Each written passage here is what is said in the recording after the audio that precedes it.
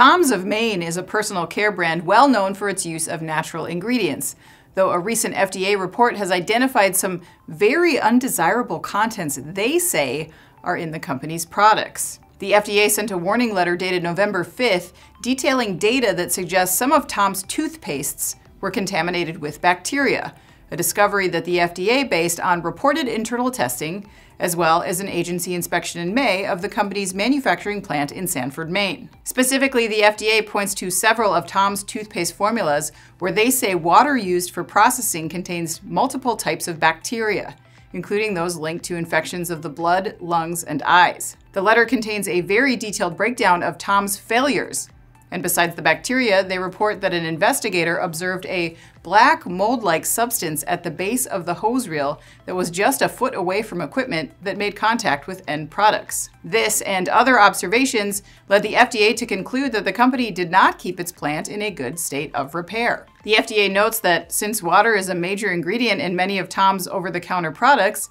it is essential that the company employ a water system that is robustly designed and that Toms effectively control, maintain, and monitor the system to ensure it consistently produces water suitable for pharmaceutical use. The company has the opportunity to respond to the issues by way of remedy. The company, owned by Colgate Palmolive since 2006, has blamed the presence of certain bacteria on a laboratory error, though the FDA rejects that contention, saying the initial investigation stated no laboratory errors were identified. Tom submitted a statement to CBS News saying, quote, "We have always tested finished goods before they leave our control and we remain fully confident in the safety and quality of the toothpaste we make." The firm added that it has engaged water specialists to evaluate our systems at Sanford, have implemented additional safeguards to ensure compliance with FDA standards, and our water testing shows no issues. CBS News said the company added that it is making capital investments to upgrade the plant's water system.